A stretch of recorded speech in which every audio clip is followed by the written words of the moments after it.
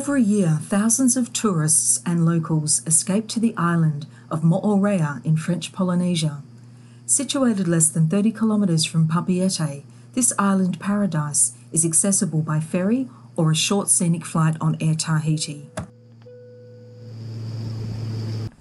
Whether you prefer to explore Moorea's 134 square kilometres of lush scenery by ATV or by taking a leisurely tour of the island by catamaran, there is no question that Moorea is one of the most beautiful places on earth, and it is easy to see why so many people return to the island time and time again.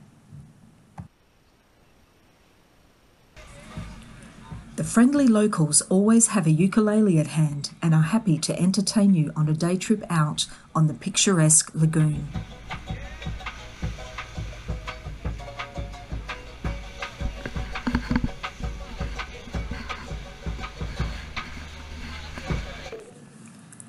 It is, however, the other friendly locals who provide so much entertainment and joy for those who are brave enough to enter their world. Most people forget the fear they have developed about sharks and rays in other parts of the world and simply enjoy the experience. Education is vitally important to ensure the safety and conservation of French Polynesia's marine life, and what better way to encourage conservation than to get up close and personal with a black-tipped reef shark or a friendly ray.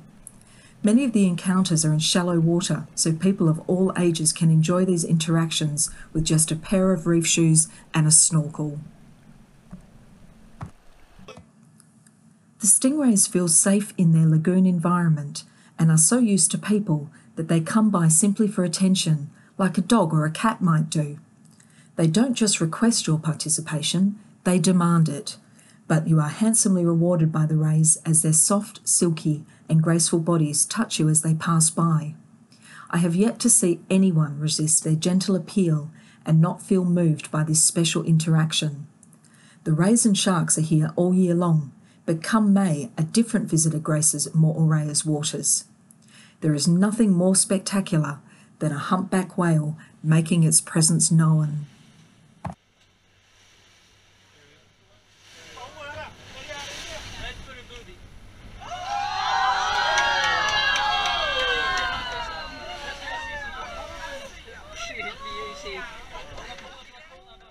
Michael Poole, a highly experienced and passionate marine biologist, takes tourists out on whale watching expeditions on his purpose built boat several times a week during the humpback whale season.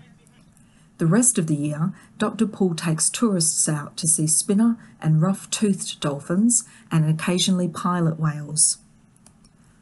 As a tour guide, Dr. Poole is a natural. However, there is far more important work being undertaken while the tourists are enjoying the sights.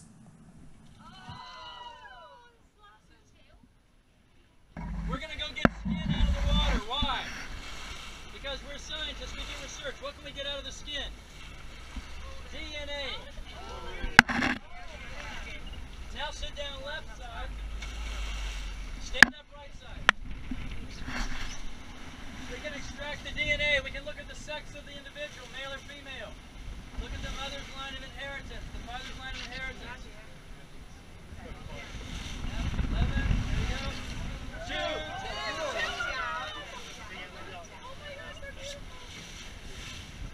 We've got to charge you more for that. I'm sorry. There's two.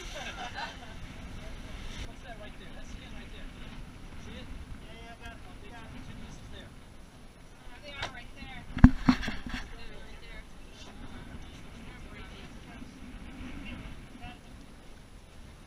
Okay, that time we got it. Perfect. That's whale skin. Take a look. That's what we did. That's our job. Both the wildlife and the weather can be unpredictable in French Polynesia, and the wait can be long.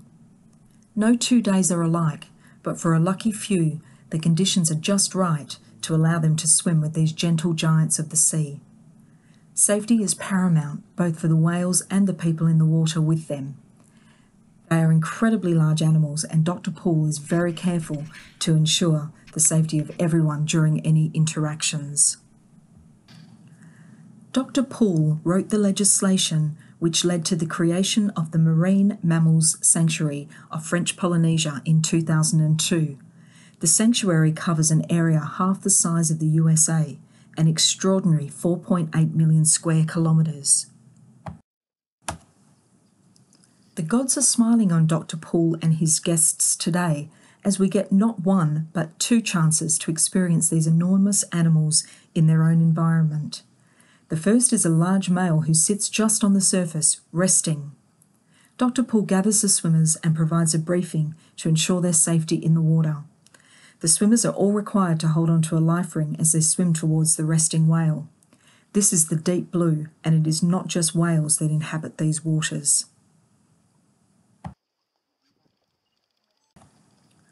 I feel envious of Group 1 as they move towards the resting male while I film it from the boat, but my patience is about to be rewarded.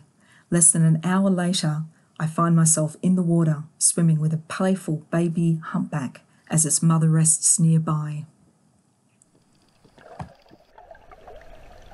Six metres in length, this baby humpback is remarkably agile and very aware of its surroundings as it moves amongst the swimmers.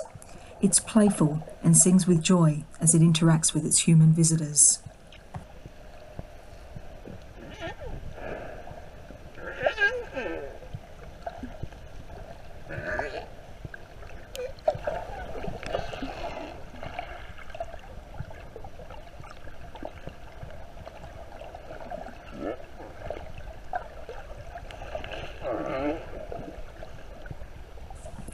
You might expect an excitable baby to be somewhat clumsy, but this young whale surfaces for air regularly during our swim and navigates a path without ever bumping into anyone.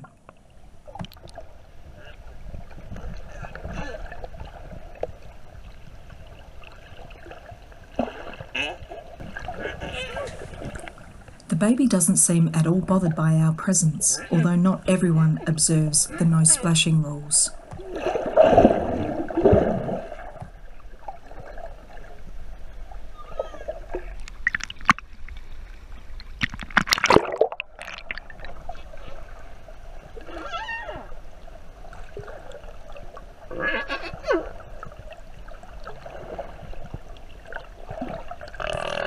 I suddenly hear a noise off to my right. Mum is ready to resume her travels and is calling her baby back to her side, ending one of the most incredible experiences of my life.